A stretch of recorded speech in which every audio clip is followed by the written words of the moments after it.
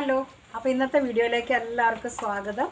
ഇന്ന് നമ്മൾ കർക്കിടക മാസമായിട്ട് നമ്മൾ കുറേ ഔഷധങ്ങളൊക്കെ കഴിക്കാറുണ്ട് പച്ചമരുന്നുകളൊക്കെ. അപ്പോൾ എല്ലാ കർക്കിടകത്തിലും തീർച്ചയായിട്ടും ഉപയോഗിക്കേണ്ട ഒരു മരുന്ന് ഒരു പച്ചമരുന്നാണ് ഞാൻ കാണിക്കുന്നത്. ഇത് മിക്ക വീടുകളിലും ഉണ്ട്. കാടുകളിലൊക്കെയാണ് കേട്ടോ സാധാരണ ഇത് വെറുതെ പടർന്നു കിടക്കുന്ന ഒരു സംഭവമാണ്.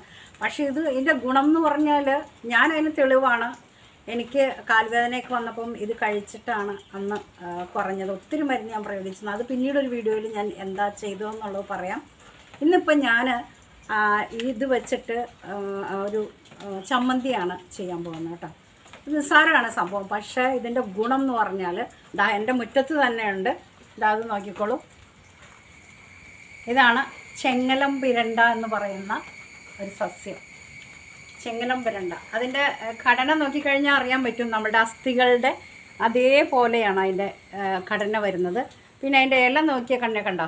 ഇല വളരെ ചെറുതായിരിക്കും. ഈ ചെടിയോട് യാതൊരു സാമ്യമില്ലാത്ത ഇതാ ഈ ഷേപ്പിലുള്ള ഒരു ഇല. നല്ല കട്ടിയുള്ള ഇലയാണ്.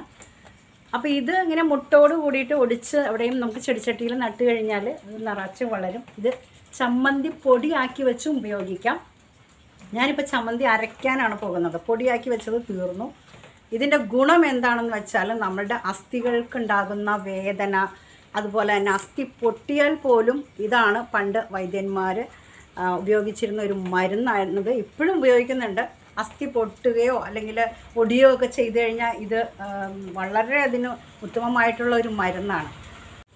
അപ്പോൾ ഇതിന്റെ ശരിക്കും ശാസ്ത്രീയമായിട്ടുള്ള പേര് വേറെ ഒത്തിരി പേരുകൾ അറിയപ്പെടുന്നുണ്ട്. വജ്രവല്ലി അസ്ഥി സംഹാര എന്നൊക്കെ അറിയപ്പെടുന്ന ഒരു സസ്യമാണ് അപ്പോൾ ഞാനിതിങ്ങനെ അതാ കുറച്ച് ഇതിന്റെ ഒളിച്ചെടുക്കുകയാണ്. ഇപ്പോൾ ചമ്മന്തി അരയ്ക്കാനായതുകൊണ്ട് ഞാൻ കുറച്ചേ എടുക്കുന്നുള്ളൂ. ഇത് എണ്ണ കാച്ചി വെച്ചിരുന്നാൽ വളരെ ഔഷധമുള്ളതെന്ന് പറഞ്ഞാൽ നമ്മൾക്ക് ഇതിന്റെ ഇത് ഉപയോഗിച്ച് കഴിഞ്ഞിട്ടുണ്ട്. അതിന്റെ റിസൾട്ട് എന്ന് പറഞ്ഞത് എന്താ പറയുക ഉപയോഗിച്ച് തന്നെ അറിയണം. അപ്പം ഞാൻ ഇത്രയാണ് എടുത്തിട്ടുള്ളത്. ഇത് വെച്ചിട്ട്. ചമ്മന്തിക്ക് അധികം ലെങ്ത് ഉള്ളതെന്നുള്ള വീഡിയോ ഒന്നുമല്ല അറിയാലോ. ചമ്മന്തി ചുമ്മാ ഇരിക്കുന്നേ ഉള്ളൂ. എന്നാലും ഞാൻ അതെങ്ങനെയാണെന്നുള്ളത് കാണിച്ചു തരാം. ഇത് ദേഹത്ത് മുട്ടിക്കഴിഞ്ഞാൽ ചൊറിയും കേട്ടോ. ഇതിന്റെ ഈ ചറം നേരത്ത് മുട്ടിക്കഴിഞ്ഞാൽ ചൊറിയും. അപ്പോൾ അത് സൂക്ഷിച്ച് കൊണ്ടുപോവുക. അപ്പോൾ ഞാനിത് നന്നായിട്ട് ഇതാ കഴുകി വൃത്തിയാക്കി കൊണ്ടുവന്നിട്ടുണ്ട്. അപ്പോൾ ഇതിനകത്തൊരു നാരുകളൊക്കെ ഉണ്ട്. ഇത് പച്ചയ്ക്ക് നമുക്ക് ഉപയോഗിക്കാൻ പറ്റില്ല. ചെറിയൊരു ചൊറിച്ചിലുണ്ട് കേട്ടോ. അപ്പോൾ ഇതെന്ത് ചെയ്യണമെന്ന് വെച്ചിട്ടുണ്ടെങ്കിൽ ഒന്ന് വാട്ടേണ്ടി വരും. അപ്പോൾ അതെങ്ങനെ ഇതിന്റെ നാരൊക്കെ ഒന്ന് കളഞ്ഞെടുക്കാം. വാട്ടുന്ന വിധം എങ്ങനെയാണെന്നാണ് ഇപ്പോൾ കാണിക്കുന്നത്. അത് ചമ്മന്തി അരയ്ക്കാൻ ഇപ്പോൾ എല്ലാവർക്കും അറിയാമല്ലോ പക്ഷേ ഇതെവിടെയെങ്കിലും നിങ്ങൾ കിട്ടുവാണെങ്കിൽ ഇപ്പോൾ ഓൺലൈനിലൊക്കെ ഇഷ്ടംമാതിരി വരുന്നുണ്ട് കേട്ടോ. ഇത് വാങ്ങിക്കുന്നുണ്ട് ഇതിന്റെ എണ്ണയൊക്കെ ആൾക്കാർ ഭയങ്കര വിലയാണ് ഇതിന്റെ എണ്ണയ്ക്ക്. ഞാനത് തേച്ച പിന്നെയാണ് എന്റെ കാൽ പാദത്തിന് ഭയങ്കര വേദനയായിരുന്നു ഉപ്പൂറ്റിക്കൊക്കെ. പക്ഷെ അത് അതിശയം എന്ന് പറഞ്ഞാൽ എന്താ പറയുക ഭയങ്കര ഒരു അതിശയമായിപ്പോയി എനിക്ക്. അപ്പോൾ നമ്മളിത് അരയ്ക്കാനുള്ള കാരണം വെച്ച് വലുതാക്കിയിട്ടാലും കുഴപ്പമൊന്നുമില്ല. അതിന്റെ ഈ നാരുകളൊക്കെ വലിയ മൂത്താണ് ഇതേ കണ്ട? നാര് കണ്ട? നാരിങ്ങനെ അങ്ങോട്ട് കളയുക എന്നിട്ട് ഇതുപോലെ ചെറുതായിട്ട് അങ്ങോട്ട് അരിഞ്ഞിട്ടാൽ മതി.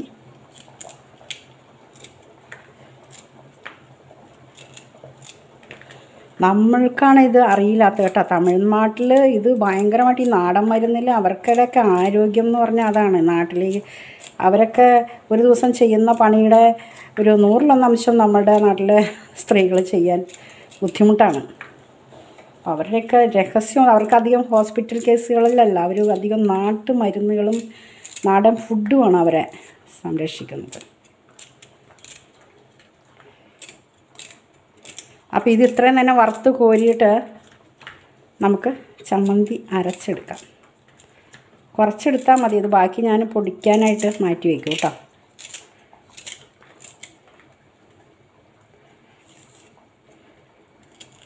പിച്ചാൽ നിന്നാൽ ഇത് തൊണ്ട് മുഴുവനും പോകും. അപ്പോൾ കണ്ട ഇടയിലൊരു നാരുണ്ട്. ആ നാരിങ്ങനെ വലിച്ചു കളഞ്ഞാൽ മതി. ഒത്തിരി മൂത്താണെങ്കിലേ ഉള്ളൂ അല്ലെങ്കിൽ കുഴപ്പമൊന്നുമില്ല. കണ്ട ഇത്ര നമ്മൾ ആക്കിയെടുത്തിട്ടുണ്ട്. അപ്പോൾ അതിനായിട്ടൊരു ചീനിച്ചട്ടി വെച്ച് കുറച്ച് വെളിച്ചെണ്ണ ഒഴിക്കാം. എന്നിട്ട് ഇതിലേക്ക് നമുക്ക് സംഭവം ഇട്ടൊന്ന് വഴറ്റി എടുക്കാം. ഇതുപോലെ ഇളക്കി കൊടുക്കാം. അപ്പോൾ നമ്മുടെ ചങ്ങലം വരണ്ട അതെ കണ്ട? ഇതുപോലെ ഒന്ന് വാട്ടിയെടുത്തിട്ടുണ്ട് എണ്ണയിൽ. അതുകൊണ്ട് കൂടെ തന്നെ ചുമന്ന മുളകും വാട്ടിയെടുത്തു. പിന്നെ രണ്ട് കറിവേപ്പില ഒരു പുളി പുളി ലേശം കൂടുതൽ മുമ്പിട്ട് നിൽക്കാൻ പാകത്തിന് വേണം കേട്ടോ. ഉപ്പ് കുറച്ച് തേങ്ങ ഇത്രയും കൂടെ വെച്ചാണ് നമ്മൾ അരച്ചെടുക്കുന്നത്. ഉള്ളി വേണമെങ്കിൽ ചേർക്കാം കേട്ടോ ചെറിയ ഉള്ളി. നമ്മുടെ ചമ്മന്തി ഇതേ അരച്ചെടുത്തിട്ടുണ്ട് കണ്ടോ? ഇതിന് ടേസ്റ്റ് വ്യത്യാസമൊന്നുമില്ല കേട്ടോ. നമ്മുടെ ആ കറിവേപ്പിലയുടെയും മുളക്കുമുളകിന്റെയും ആ സാധാ ചമ്മന്തി അരയ്ക്കുന്ന ടേസ്റ്റേ ഉള്ളൂ. പക്ഷെ ഗുണം എന്ന് പറഞ്ഞാൽ എന്താ പറയുക നല്ല നമുക്കിത് കഴിച്ചു കഴിഞ്ഞാൽ ദിവസവും ചമ്മന്തി അരച്ച് കഴിക്കാമെങ്കിൽ നല്ലതാണ്. നിങ്ങൾക്ക് ദിവസം കഴിക്കാൻ പറ്റില്ല എന്നുണ്ടെങ്കിൽ ചമ്മന്തി പൊടി അഴിക്കി വെക്കുക തേങ്ങയും ഒക്കെ കൂടെ വറുത്ത് പൊടിച്ച് വെച്ചാലും മതി. ഓക്കെ